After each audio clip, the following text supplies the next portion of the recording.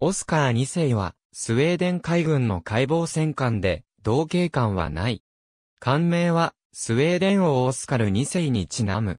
本艦は、スウェーデン海軍が、バルト海自国の沿岸警備のために作り上げた、海防戦艦である。本艦は、アラン級海防戦艦の複法の強化型として1901年度海軍計画において追加で一隻の建造が承認され、1903年にイエーテボリ造船所に発注された。竣工当時の本艦の武装、装甲の配置を示した図本艦の基本構造は平甲板型船体で水面下に昇格のつく艦首から艦首甲板上に1898年型 21cm カノン砲を収めた単装式の主砲塔が一機、その背後から上部構造物が始まり、司令塔を下部に組み込み、左右に船橋を持つ操舵環境が設けられ、頂上部に見張り所を持つ簡素な短脚式の全部マストが立つ。船体中央部には等間隔に並んだ三本煙突が立ち、その周囲はキセル型の通風塔が立ち並び、煙突の後方は関西艇置き場となっており、関西艇は前後マストのボートクレーンと2番煙突の側面に設けられた2本1組のボートダビットが片弦1組ずつ、計2組によって運用された。原則甲板上には、複方の 15.2cm 連装砲塔を背中合わせで片弦2機ずつ、計4機が配置され、旋回する砲塔が上部構造部に干渉しないように、片弦に箇所ずつ凹まされていた。その上部構造物は、後部見張り所を基部とする、後部マストが立ったところで終了し、甲板一段分下がった後部甲板上には、後ろ向きの 21cm 単装手法等の順である。この武装配置により、前後方向に最大 21cm 砲1門 15.2cm 砲4門、左右方向に最大 21cm 砲2門、15.2cm 砲4門が施行できた。近代化改装後のオスカー2世1911年に全部マストを三脚型に改造するとともに、地頂上部に射撃指揮所が設けられた。さらに1938年から1939年にかけて、ボイラーを石炭、重油混焼管に乾燥した際に3本煙突は若干太くなり後部マストが撤去された。後期する対空火器の増強も行われ、満載排水量は4850トンに増加した。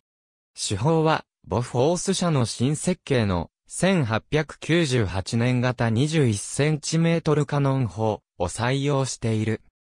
その性能は、重量 45.8kg の砲弾を最大行角12度で1925メートルまで届かせることができた。不行能力は行角12度、深く5度である。さらに、旋回角度は左右120度の旋回角度を持っていた。砲塔の旋回、方針の上下、砲弾の装填の動力は、電動で補助に人力を必要とした。発射速度は、毎分一発である。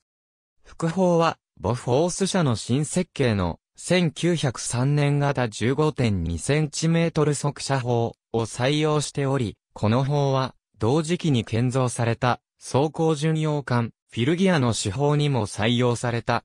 その性能は、重量 45.8kg の砲弾を最大行角30度で13,716メートルまで届かせることができた。これを連装式の砲塔に収め、砲画の不行能力は行角30度、深く5度である。さらに、旋回角度は左右120度の旋回角度を持っていた。砲塔の旋回、砲身の上下、砲弾の装填の動力は電動で補助に人力を必要とした。発射速度は、毎分3から4発である。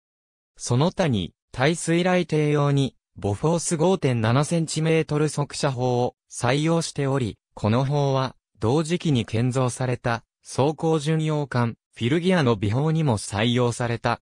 その性能は、重量 2.72kg の砲弾を最大行角20度で5000メートルまで届かせることができた。これを乱装砲画で10機を搭載した。砲画の不行能力は、行角20度、深く20度である。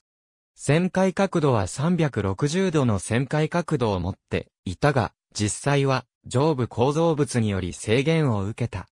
砲画の旋回、方針の上下、砲弾の装填の動力は人力を必要とした。発射速度は毎分20発である。